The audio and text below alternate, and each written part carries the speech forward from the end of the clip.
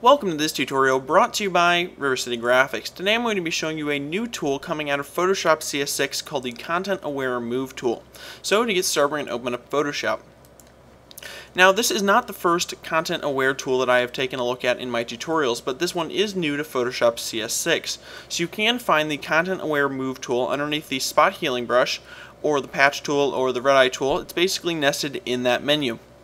So once you get to that menu, make sure and click on Content Aware Move tool so that we can get started.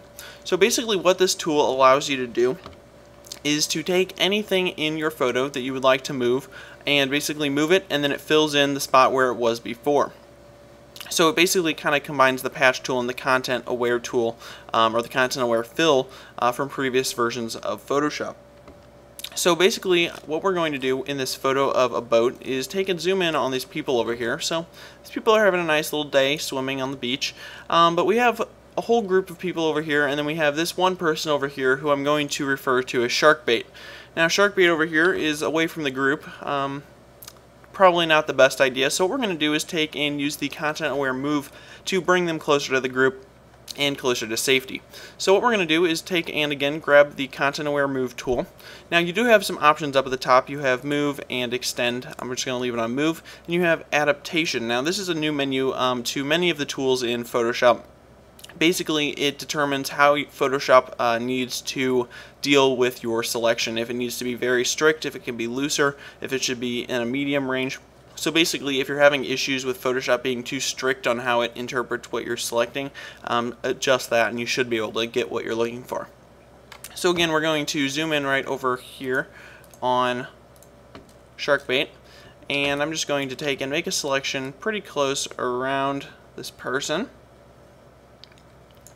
Alright, so now that I've made my selection, I'm going to take and zoom out a little bit, and we're just going to take and again, just take and just drag them over here.